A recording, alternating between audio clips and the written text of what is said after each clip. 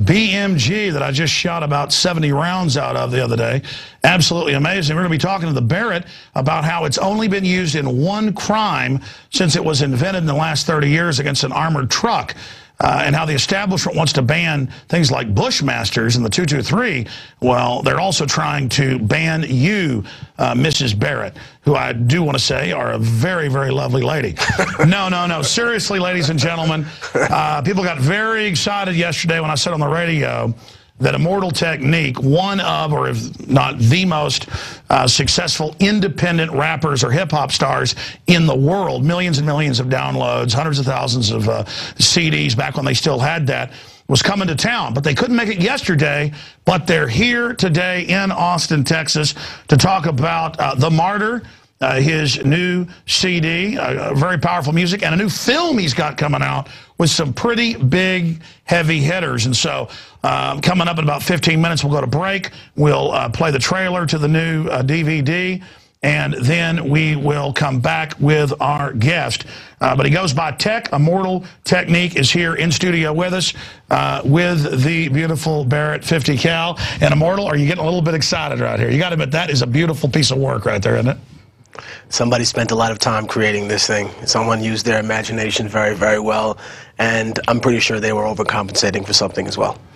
Well, yeah, over overcompensating. You need an anti-tank weapon that's handheld. Yeah. Um, I think you know. First of all, I appreciate the uh, the introduction. Um, the DVD is actually in stores right now, uh, ViperRecords.com. Um, and I also want to say that you know it's interesting to be on this program because a lot of people will approach me and they'll be like, I can't believe you're going to do this show. And I think that there are a lot of perceptions about yourself that, um, that people have the wrong idea about. And I'm, I'm more than willing to sit here and have a tempered, relaxed, calm discussion about some of these things because I think that, you know, you're not one of these guys who came out and said, the, the whole fascism started with the black guy crowd. You know what I mean? I remember you from the Bush administration days being out there saying, do you realize what's happening here in America? You know, you are looking at it through a right-left paradigm is what you were saying to people. When in reality, it doesn't matter who's going to be there. Whoever comes after Bush is going to have to cross the T's and dot the I's. Well, no, that's, that's it. Exactly it, it, it Cynthia McKinney was on my show about a month ago. She's back on next week, the former congresswoman, for those that I'm sure most viewers know who she is. And she said, look, it's not that Barack Obama's the lesser of two evils. He's the more effective. Mm. It, Mitt Romney would have done the exact same thing, but couldn't have gotten away with as much. Mm. And I think that, look, if someone else had been able to be in that position, smiling and then sending all of these troops and mercenaries back into Iraq, back into Afghanistan, exploiting the natural resources, deporting as many people as he did, which we'll get into later. Um, I think that that would have garnered a lot more hatred if it had happened from a right-wing Republican white guy, as opposed to someone who has the impression of being an incredibly liberal individual and yet follows, you know, a secretive agenda that really doesn't answer to anybody, especially not. Sure, we're going to get into globalism and a few of the things we talked about before you came into the studio here. All I can say is I'm a true independent. I tweeted earlier today and said, you know, two real independents. You're a real independent. You're not controlled. I mean, I think I first met you seven, eight years ago in New York, mm -hmm. uh, and I've had a chance to be at a few of your events, and you've been there at a showing of Endgame. And I just respect the fact that I agree with about 85% of what you stand for, and I probably agree with the other 15 if I fully understood it or had time to follow it all. But most of what I've heard you talk about, I agree with. But you're through a different prism, a different perspective, a different scanner darkly, myself as well. My only issue is this. Whatever the globalists are really pushing, it may have a bunch of good reasons and a cover story associated with it of why it sounds good. But I look at what their internal documents, leaked documents, what the larger end game is. Absolutely. And so I'm like, we can't have open borders because the globalists want a North American Union. They want to implode Mexico under 1021, force everybody off their land into maquiladoras, then up here to drive down wages, then to create a culture clash. See, if the system was trying to unify things for everybody to be friends, it'd be different. In the name of, quote, liberalism, mm. they then sell it as a... But, but, I mean, it would take an hour to break the right. whole thing down. No, no, but we'll get into that. I think the, the, the reality is that people often uh, misunderstand and misrepresent the mythology of America. For example, the creation of the United States in the fact that when Britain uh, surrendered, it ceded a series of territories that didn't belong to them. When Mexico surrendered to the United States after the Mexican American War, it ceded a series of territories that did not belong to them. You know, all of these Native American tribes, they weren't ruled solely by Spain. As a matter of fact, Spain couldn't exercise control over them. The Mexican government couldn't exercise control. No, I agree. Right? So, how about those people? But see, the UN will try to represent them and then take over. Right, but this is see, the but, what, the but I mean, what do you do? Because now it's the UN taking over America. And then the other part of it becomes from when I hear people talk about who deserves to be here and who doesn't. Because I've met people who don't have papers legally, right? And yet they serve their country in Iraq and Afghanistan. Now, mind you, that's not a war that I necessarily believe in. But when I hear a bunch But of it's chick- hypocrisy. When I hear about when I hear a bunch of chicken hawks saying, "Oh, you're not down with America," and I look at them and I say, "Hey, what did you ever do to be considered American besides fall out of some wretched hole in Kansas or, or New York or Texas?" You know, here's a guy who barely speaks the language, and yet he's putting his life on the line for the perceived safety of the United States. Now, regardless of whether you or I agree with the premise of the war, He's the paid dues. behind it, right? He's paid his dues. No, I get that. The people, if you if you're drinking orange juice out there, if you're wearing uh, uh, clothes that are made out of cotton as opposed to hemp because they had to outlaw that, um, if you're eating strawberries in the winter, blueberries in the winter, that doesn't grow in the winter. It had to come from plantation-like atmospheres. You know, we've overthrown uh, governments overseas just to keep. I agree. Globalism, neocolonialism. Right. And and it's tied into neoliberalism as well. The idea that everything's for sale, that the air's for sale, that the water's for sale. You know, these people want to privatize every aspect of human life. And I think that, you know, sometimes the difference is people can't hear me because I say it through hip hop and no matter what the venue is, they'll still think hip hop irresponsible, arrogant young people, or they'll hear you say something and they'll say, "Oh man, I love this guy, but he went crazy on Piers, and I, I, I don't think that he, you know, should represent the movement that way." At, at some point. You and I will only touch a fraction of the people that we need to speak to, and yet I think that what's important about it is to have so many diverse groups of individuals who have the same core message. What's behind the mask? You know what I mean? Don't show me what you have in the right hand when you play the old switch and grab. You know what I mean?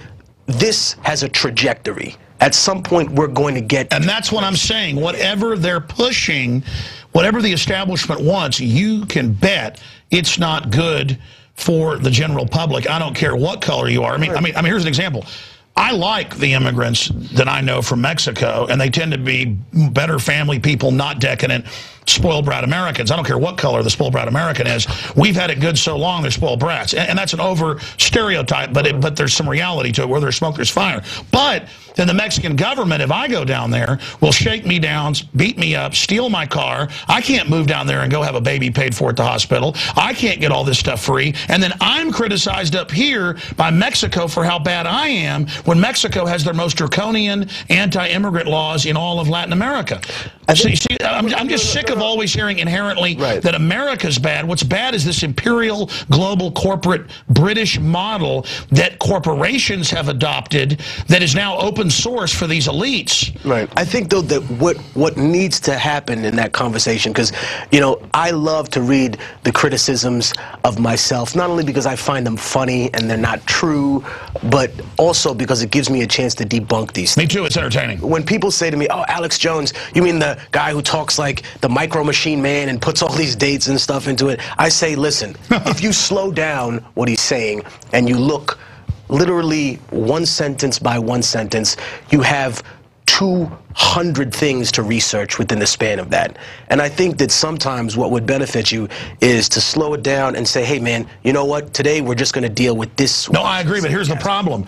The way my brain works, I think most people's actually work this way, is that is that I love when people start like that. The problem is the way my brain works. well, well, th- th- there's like a hundred different uh, In fact, what people think I'm talking fast, that's like one one hundredth. Right. Because when I see something, I know all the connections and how it integrates because I've read all the establishment publications, and then I know the three or see they're thinking like in three level chess. The general public's playing checkers, right. and they want to keep us in a checkers level, and that's what's so frustrating is that I can see their end game. But listen, we talked for about five minutes, you know, right when you got here, mm -hmm. about some of the things we want to talk about, and we're kind of hitting the end of it. Sure at the start, but it's going awesome. In the limited time we've got with you, because I know you've got a show to do, let's start with, I said, what do you want to cover first? And you said guns. So I said, hey, grab the 50 cal out of the safe. Uh, so that's why the 50 cal is here on the table, because on your shirt is the AK-47, Immortal Technique, uh, since 1492. I get it we, the indigenous peoples, are seizing, you know, our right to self-determination well, and to be armed. Let's just touch on that.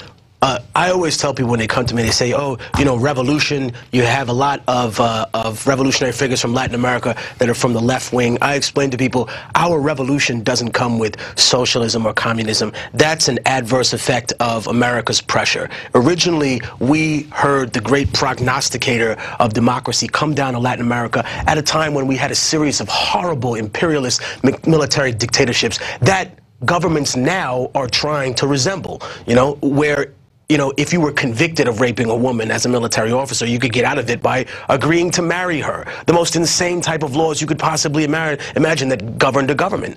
Um, but when we look at that, when people were saying you can have a democracy and you can vote for your own leaders, we thought that's wonderful. What a great idea. And then the great uh, uh, uh, proselytizer of democracy we realized was the same one backing up Stroessner, Batista, you know, uh, uh, the, the, the, the imperialist governments that existed in Latin America. And the country and the people of Latin America said, what else do you have on the table? Who else has something besides And the this, Soviets came. And the Soviets and the Chinese came. And I, I explained to people, yes, that's a natural part of, of our society, but what we have to explain to individuals is we didn't need a European man to come from the 19th century and explain to us dark people in Latin America the complex concept. Of Plus, anybody from sharing, Europe has, right? or the U.S., no matter what color they are, if they're if they've got globalist backing, they're coming with the corporate jackals. They're coming with the economic mm-hmm. hitmen, and so that's the issue. But then you find out that the mega banks, this isn't a conspiracy, this is on record, funded the communist movement,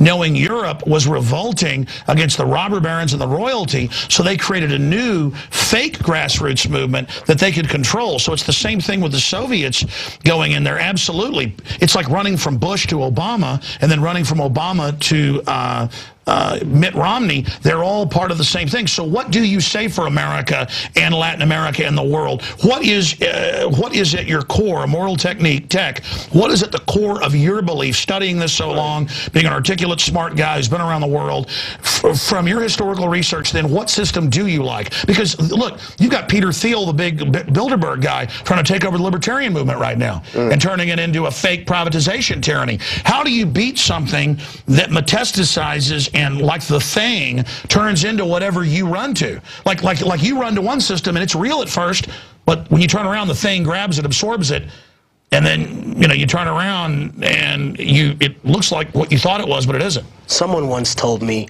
that Christianity, Islam, Judaism, all of these religions expanded specifically because they fell into the hands of lesser men if they had been run by the original people who conceptualized the ideology and who for some reason had it close to their heart and veins. You know, do you think Jesus Christ would look at the way that people have commercialized his religion? Do you think Yeshua ben Yosef would be able to, to look at it without shedding a tear and saying, you've missed the basic premise of everything that I'm trying to tell you, which is treat other people the way you want to be treated.